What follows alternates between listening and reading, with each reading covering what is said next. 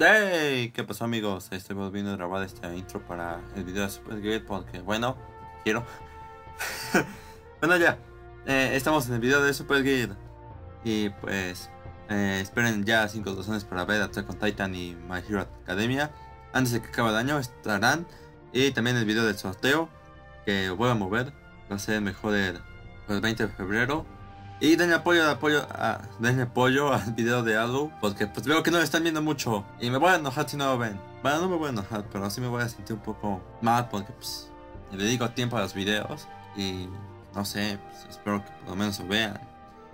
Y ya. Eh, vamos a hablar de la cuarta temporada de Supergirl. Como ya saben, voy a dar detalles importantes, curiosidades, ya sé que empezó, no me lo digan en los comentarios. Matar a todos los pasado si Superman no hubiera aterrizado en Estados Unidos, sino en Rusia. Y pues básicamente ese será como el foco de atención, el mayor foco de atención de la temporada. Pero también no sé, hay rumores de que esta historia no se, no se dé tanta importancia hasta los últimos capítulos de la temporada. Pero bueno, siguiendo con otros datos importantes, también sabemos que al final de esta temporada, Brainiac 5 se quedó en el pasado debido a que hay un virus en el futuro que amenaza a toda su especie, por lo cual si va podría morir, por lo cual en lugar de él va Win.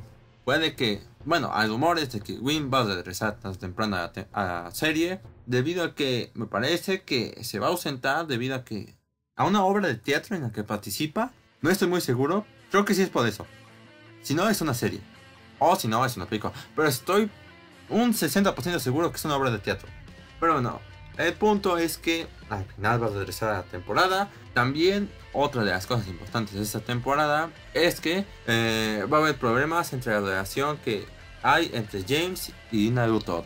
Entre James Olsen y Dina Luthor. Y al parecer también va a aparecer Lex Luthor en esta temporada. Y bueno, ya. Eh, Así como un villano importante en esta temporada, pues nada más sería eh, la adaptación de Red Son, pero con Supergirl. Pero de eso supongo que ya hablaré en otro video. Además de que, mmm, así mucho que haya que decir, supongo que no, porque no creo que adapten exactamente como pasa en los cómics. Pero, pues, obviamente, como, como voy a hacer con el video de algo, con el video de Mid Season. Voy a hacer también lo mismo con este. Y si veo que se parece mucho a origen de los cómics, a la historia de los cómics, que van a hacer adaptación de Son, pues entonces haré un video más extenso hablando de ese cómic. Así que, pues no sé, esperen, no sé. No sé si lo haga, no sé si no. El video de la Mid Season sí lo voy a hacer, pero no sé si incluya eso. Así que, pues no sé. Si no, pues, quizás después se haga como un dato interesante para meterlo de lleno en el canal. Eh, también, eh, detalles confirmados para esta temporada, datos curiosos, curiosidades. Pues en esta temporada el periodismo será una gran parte de la temporada ya que Kara se va a centrar más en su trabajo. También el tema del principal de esta temporada como pasó con Arrow y con Flash, pues en la temporada 4 de Supergirl va a ser ¿qué es más fuerte? ¿Esperanza o miedo? Supongo que también esto estará relacionado con el villano que es Manchester Black que va a aparecer en esta temporada. Ahorita va a hablar de eso. Y también quizás con Red Son, que en la serie van a llamar Red Son Ish. Y pues bueno, socialmente vamos a hablar de Brainiac, ya que pues, obviamente tiene que haber distintos enfoques de la serie para que sea una serie como que más entretenida y con más temas interesantes, no solo puras peleas. Pues socialmente Brainiac chocará con un par de personas y pues eh, en este pues vamos a ver como un desarrollo de la sociedad con, de Ed con sus relaciones sociales.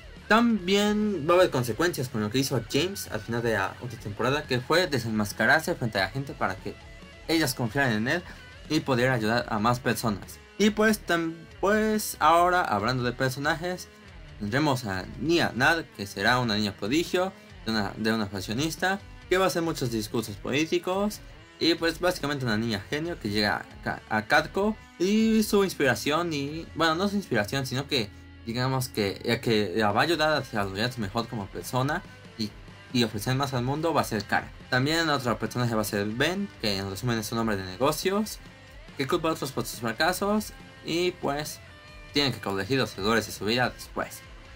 También a Coronel Harry, en las cuales sus acciones van a dejar en claro que ella es alguien con quien no te quieres meter, sin que ella tenga que decir una palabra, y ella será a su comandante, a su país y pues a cualquiera que dé órdenes que esté por encima de ella.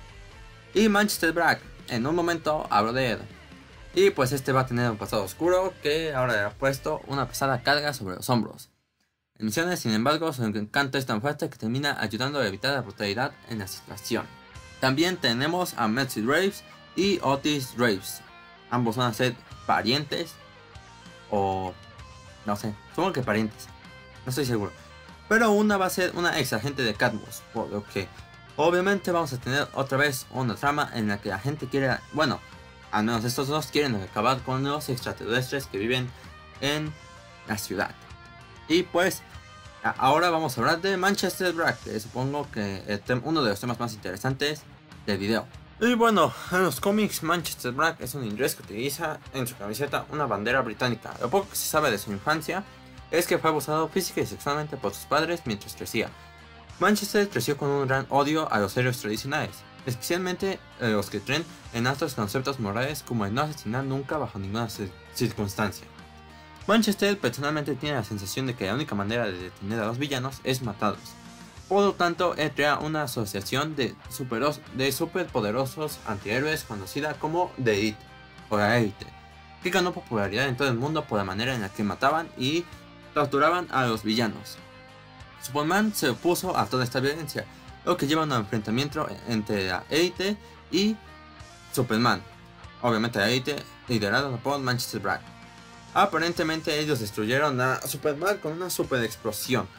Pero Superman después regresó con una ira aparente y empezó a matar a todos los miembros de Elite. Cuando nada más quedaba Manchester Black, Superman lo tomó, lo lanzó y le quitó sus poderes, aparentemente.